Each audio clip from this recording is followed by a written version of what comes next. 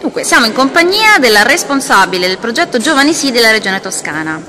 Chiara, puoi spiegarci co- in cosa consiste questo progetto? Allora, Giovani Sì è un progetto voluto dal Presidente della Regione Toscana Enrico Rossi che all'inizio della sua legislatura ha voluto costruire un progetto integrato che mette insieme più politiche rivolte ai giovani che la Toscana in parte già costruiva, in parte ha costruito più nuova nella nascita di questo progetto e ha voluto mettere insieme in maniera trasversale sotto un unico cappello che si chiama appunto Giovani Sì.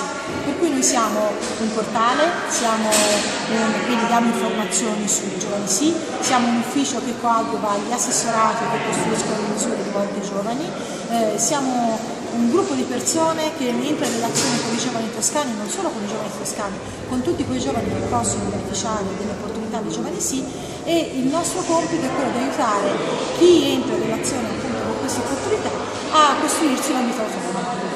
Allora, una particolarità di questo progetto è che nasce in qualche modo da una consultazione con i giovani del territorio. Sì, in parte anche così.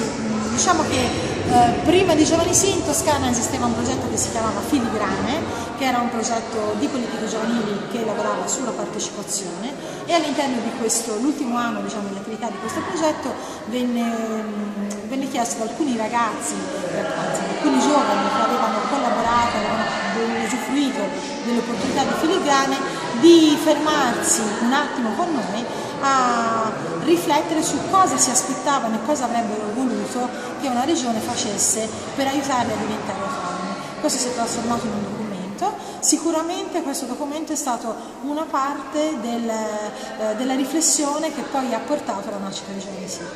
Ok, quindi a che punto siete oggi e dove, dove state per andare? Dove, quali sono le prospettive future? Allora, oggi siamo a un buon punto questo progetto riscuote molto successo soprattutto in termini di accesso, cioè sono molti giovani che riescono a beneficiare delle nostre misure e quindi sicuramente per noi questo era l'obiettivo da raggiungere e lo abbiamo raggiunto. Dove vogliamo andare? Vogliamo andare molto lontano, cioè non ci accontentiamo.